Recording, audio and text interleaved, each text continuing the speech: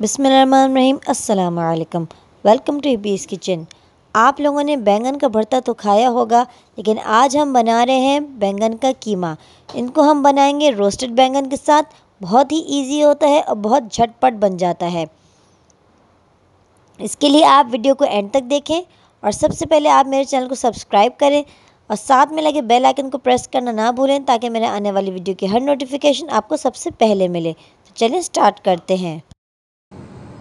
बसमीम बैगन कीमा के लिए जो इंग्रेडिएंट्स चाहिए वो ये हैं।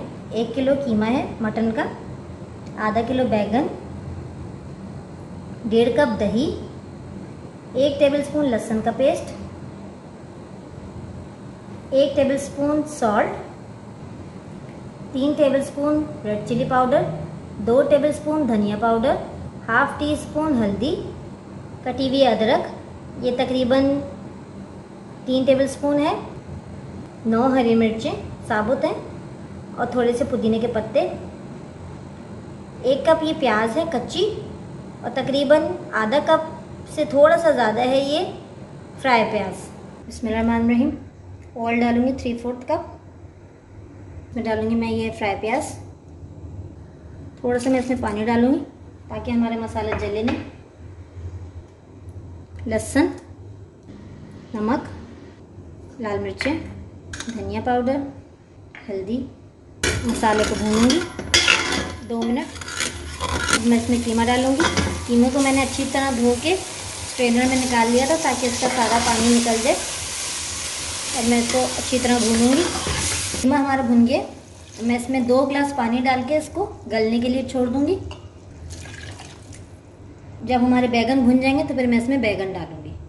अब मैं इसको कवर करके रख रहा हूँ और पंद्रह बीस मिनट बाद मैं इसको चेक करूँगी। जब तक हमारा कीमा गलता रहेगा, मैं ये बैगन ये मैंने ग्रिल रख दी है चूल्हे पे और उसके ऊपर मैं ये बैगन बिल्कुल हल्की फ्लेम है और ये मैं बैगन को इस तरह सेकूँगी।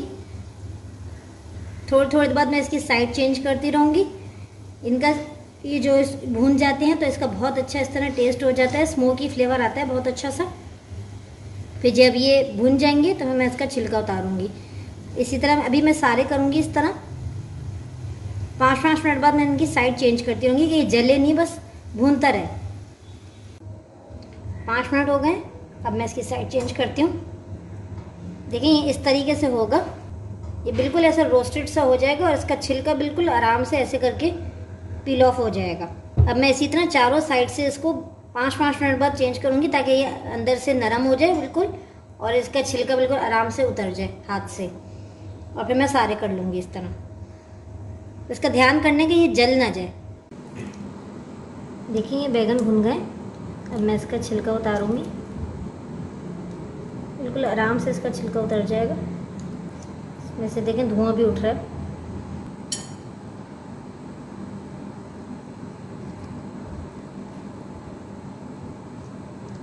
सारे मैंने छील लिए। अब इसमें, इसको फोक से अच्छे से मैश करूँगी।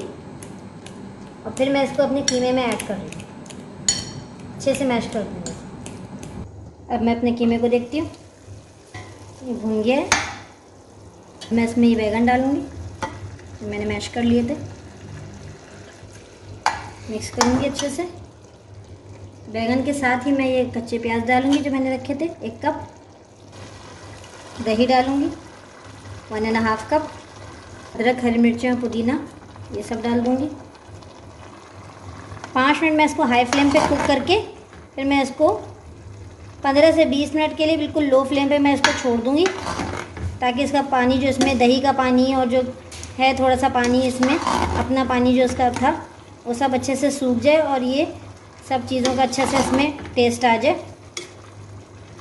आधा घंटा भी छोड़ सकते हैं इसको, बस लो फ्लेम पे इसको छोड़ दें, ताकि सब चीज़ों का अच्छे से इसमें टेस्ट आ जाए।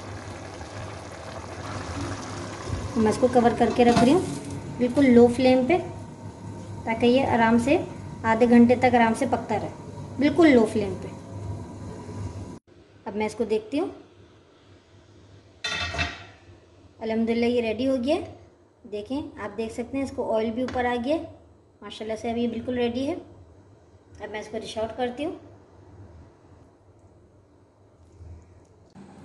अलहमदिल्ला रेडी है हमारा मज़ेदार बैंगन कीमा। आप इस रेसिपी को ज़रूर ट्राई करें। इन आपको बहुत अच्छी लगेगी। अगर आपको वीडियो अच्छी लगी है तो इसको लाइक करें और शेयर करें। और अगर आपने मेरे चैनल को सब्सक्राइब नहीं किया है तो काइंडली मेरे चैनल को सब्सक्राइब करें। जाकल्ला खैर, दुआ में याद रखिएगा। वालेकुम